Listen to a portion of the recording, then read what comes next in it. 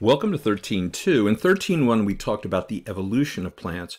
What we're going to look at in this section are four types of modern plants. And what they mean by modern plants, the plants that are still around today. Because we've lost some plants. Animals go extinct all the time, so do plants. So what we're going to look here is we're going to look at modern, first, non-vascular plants. Then we're going to give an overview of living vascular plants. And we're going to look at the classification and evolution of seed plants. We did that a little bit in 13.1. And then we're going to summarize the adaptations and evolution of flowering plants. Remember, flowering plants, the most successful type of plant on our planet, almost 260,000 different species. So first, let's look at the characteristics of non-vascular plants. Another name for non-vascular are bryophytes.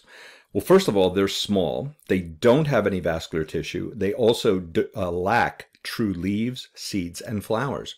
Instead of roots, they have these things. These are rhizoids that come out and anchor them to the ground or absorbed water and minerals. That's their point. That's their main uh, structure uh, to bring in things into the plant. They occupy niches in moist habitats, and they are not very efficient at absorbing water.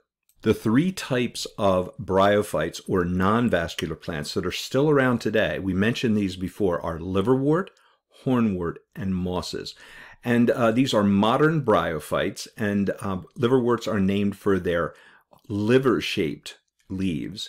Uh, hornworts are named for their horn-like sporophytes, these things coming out right here. And many of us have seen mosses on the floor of forests. We've mentioned this a number of times without showing you a diagram. Well, vascular plants, known as tracheophytes, which literally means tube plants, uh, the earliest vascular plants quickly came to dominate terrestrial ecosystems. And terrestrial, that means land ecosystems.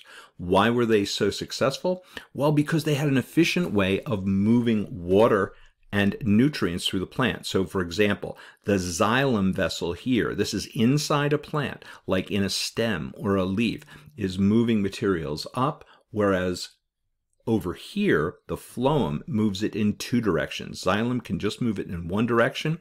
Notice it says one way only, waters and minerals, no end uh, walls between the cells. That's here. However, different Phloem can move it in two directions.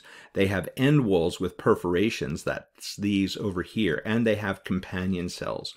So they're very different. Uh, xylem is a little simpler, phloem a little more complicated, but this is, these are the tubes, the two types of tubes that are in vascular plants. So when did vascular plants evolve? Well, Vascular plants evolved about 420 years ago, just after the Cambrian explosion, and they probably um, evolved from moss-like bryophyte ancestors. Now, keep in mind, the vascular plants had true roots. They also evolved stems of vascular tissue and lignin.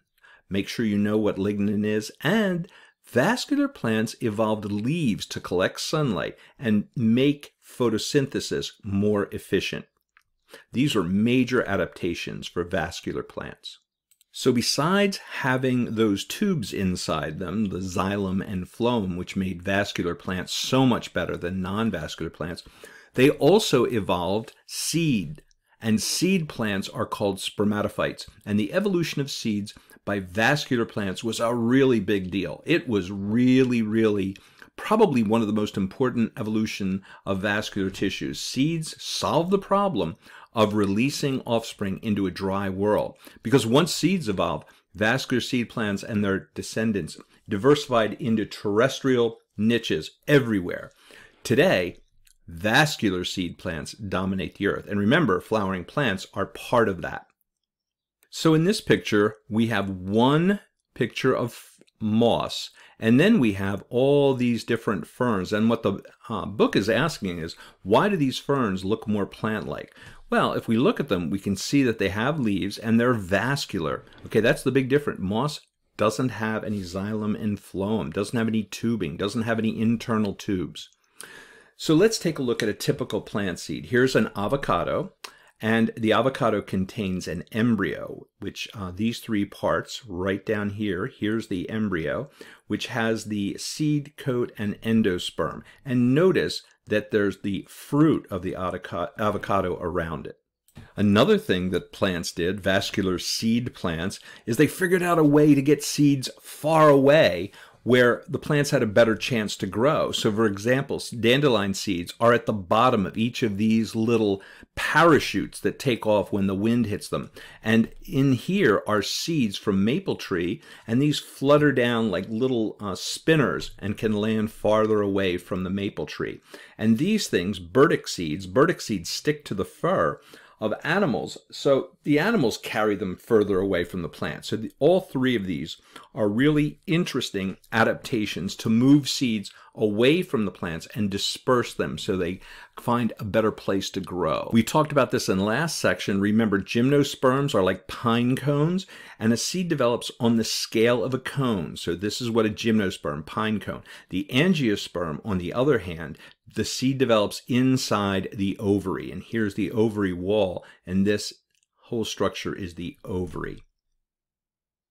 So angiosperms are flowering seed plants, form seeds in the ovary. And as they develop, the ovaries may develop into fruit.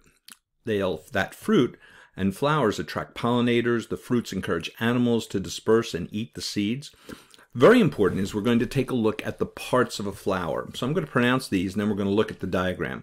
The stamen is the male reproductive part of the flower. The pistil is the female reproductive part of the flower, and the sepals protect the developing flower while it's still in bud. So let's take a look at a diagram.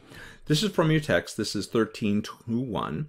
And right here, right here is the pistil or the female part of the flower. And the embryo is down here, and this is where the seed will develop if over here, the male part of the flower, which is called the stamen, but the top part, the anther, is where the pollen comes from. If the pollen from right here goes into this um, top of the pistil here and travels down and hits one of the eggs, it will fertilize and become a seed. And then eventually, some flowering plants will have build a fruit around this. Here's the sepal. So let's review this. The pistil is the female part of the plant, and down here is where the seeds will develop if the egg is fertilized by some of the pollen that comes off of the male part of the flower. This is also, the female part is also called the ovary. Flowering plants um, were thought to have evolved at least 200 million years ago, but we don't have any fossil evidence until about 125 million years ago. So the fossil flowers have male and female reproductives, but no petals or sepals.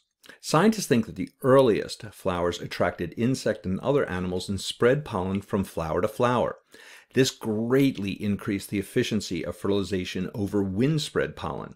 So make sure that you read this section about the evolution of flowering plants and why they were so important. Remember, flowering plants became our most successful plants. Some of the most uh, recent angiosperm to evolve are grasses. Humans started domesticating grasses such as wheat about 10,000 years ago. So human beings started to domesticate wheat, just as they started to domestic, uh, domesticate animals as well. So let's take a look at this. The plant on the left is called teosinte, right here. This is teosinte, and it's the ancestor of modern corn, which is shown on the right. This is an intermediary. Now, how can I say that we know about this? Well, we know about this from the fossil evidence of plants. Plants leave lots of fossils, especially the more recent ones. So people around the world rely on domestic plants like rice, like wheat, like corn. Those are three of the big ones. So let's take a look at some of the groups of living angiosperms. Um, first, and these are according to the structure of the flower. Um, monocots are like grasses and orchids, eudicots like daisies and peas, and magnoliids like magnolias and avocados. So real quick, non-vascular plants are called bryophytes. Make sure you know what is typically of them.